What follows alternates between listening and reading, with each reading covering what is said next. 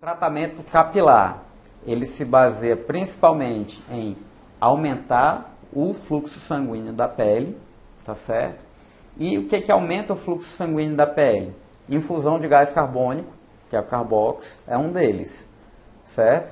Aumenta a circulação sanguínea, aumenta o metabolismo e, consequentemente, você vai ter um bulbo mais forte. O cabelo que estava mais fininho vai ficar mais grosso, vai crescer mais rápido o, o cabelo que passava muito tempo na fase catágena, que é sem o pelo dentro, o folículo, ele vai passar mais tempo com o pelo dentro e menos tempo sem o pelo. Agora, o bulbo que já morreu, morreu. Nada ressuscita, só Jesus Cristo. Que eu saiba. Aquela pelezinha do careca, que já tá aquela pelezinha já fina, aquilo não tem mais jeito. Se o bulbo morreu, morreu. Entendeu? Se tiver aquele pelozinho bem penugenzinha que você não está vendo ali direito, mas ainda tem, aí aquilo ali pode melhorar. Existe uma esperança. Mas quando chegar nessa fase aí é transplante capilar. Tá? E o transplante transplanta o bulbo? Transplante capilar você vem, corta aqui, ó, pega o bulbo e implanta em outro lugar. Eu tive uma faixa onde você tem. É. Corta só os bulbos e implanta em outro lugar, certo? Então, o tratamento capilar, ele se fia em aumentar o metabolismo da pele, CO2, carbox faz isso, fator de crescimento também faz isso. Outra coisa, quando você vai aumentando essa camadinha morta aqui superficial, isso obstrui os poros de saída do cabelo e essa obstrução também dificulta num cabelinho já fraco que, aquele, que aquela queratina consiga sair e o cabelo progredir. Então, você faz como se fosse um peeling, uma raspagemzinha bem superficial disso aqui.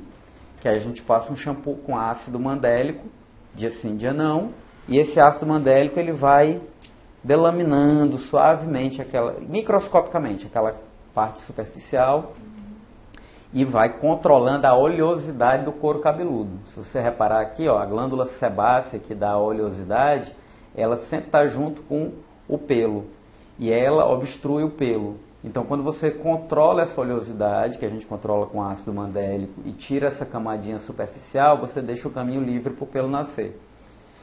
Isso é o tratamento local, né? Medicamentoso. Shampoo e a gente que a gente alterna, né? O, MM com SK, tá certo? Loção finalizadora. Ela não vai fazer alteração no bulbo, só que o shampoo ele dá uma ressecada no cabelo e a loção finalizadora vai melhorar ali para as pontas. Não é obrigatório para todo mundo. Tônico capilar. Você está aumentando o metabolismo aqui, você vai precisar de alguns nutrientes para essas pele, para essa pele, né? Então o tônico capilar ajuda nisso e o shampoo SK ajuda nisso também. O MM raspa, é um, aquela história, um, um bate outra sopra, né? O MM bate e o SK sopra, por isso que é em dias alternados, certo? Aí como é que é o nosso protocolo? A gente, para conseguir dar algum resultado, mesmo que o cabelo melhore, esse metábolismo, tudo melhore já na primeira aplicação, você não vai ver resultado ainda, porque você não deu tempo de ver cabelo crescer. Então, é um tratamento que a gente faz de pelo menos três meses, certo? Nesses três meses, uma vez por mês a gente faz fator de crescimento. E a gente pode fazer uma vez por semana o carbox, certo?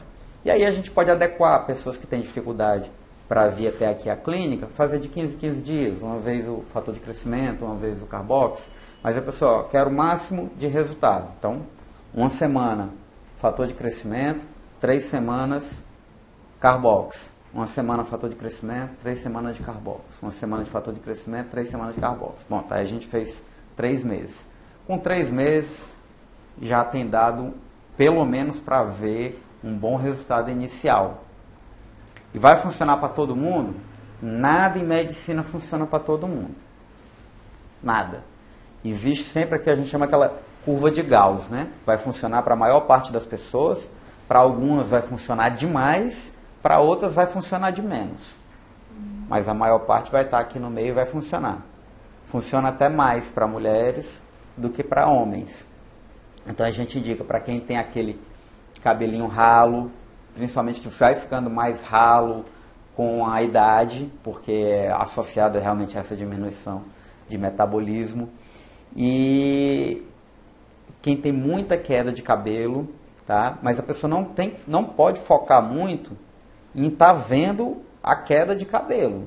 Ela tem que ter mais cabelo nascendo do que caindo. Mas cabelo caindo, todo mundo vai ter sempre. Coisa que a gente tem que agregar. Isso, eu vou repetir só porque não pega aqui no, bem no microfone, né? Mas é, a gente acrescenta também, como a Simone falou, o IGA-Lux no protocolo, porque aquela luz ela causa um estímulo celular que ela aumenta também o fluxo sanguíneo e aumenta o metabolismo. Então tudo é, o princípio é simples, é metabolismo. Aí nessa de, de metabolismo, é, não, então nessa intenção de, de eu estava falando de, de ah do Gialux, certo? Então você vê que todas a, tudo que a gente faz é para aumentar fluxo e estímulo. Aí as pessoas podem perguntar, mas isso você faz o tratamento e dura para sempre? Isso é igual ir para academia. Entendeu? Você vai para academia, você causa um estímulo muscular, aumenta o metabolismo, você aumenta a sua musculatura, você fica bem, ótimo. Se você parar, uma hora você vai começar a atrofiar. Tem gente, aí você faz um tratamento mais intenso no começo, e depois você fica fazendo um tratamento de manutenção. Como é o tratamento de manutenção? Depende. A gente vai sintonizando aqui para chegar ao mínimo que a pessoa precisa. Por exemplo, tem gente que tem uma genética favorável, que malha, malha, malha, fica bem e depois, uma vez por semana, dando uma, uma corridinha, vai ficar bem. E tem gente que, para manter a forma, tem que ir para academia passar duas horas por dia. Entendeu? Então, cada pessoa tem uma reação, certo? Então, o que a gente tem que, depois que acabar essa fase inicial dos três meses, é achar o mínimo que a pessoa precisa. Então, você começa, faz os três meses, dá um tempinho, passa uns 15 dias, um mês sem fazer nada, avalia se houve queda, aí vai tentando. Um carbox por mês está suficiente, não está? Um carboxy, um fator de crescimento por mês, está suficiente? Está ótimo. Ou diminui, um carboxy a cada dois meses. Aí vai desmamando, né? Até chegar num ponto que não, essa pessoa fica bem com um carboxy a cada três meses. Aí pronto, a manutenção dela é essa. Vai chegar períodos da vida que pode mudar essa manutenção. Está passando por mais estresse, está passando por algum problema, aumenta a queda. A gente aumenta a frequência do, do tratamento.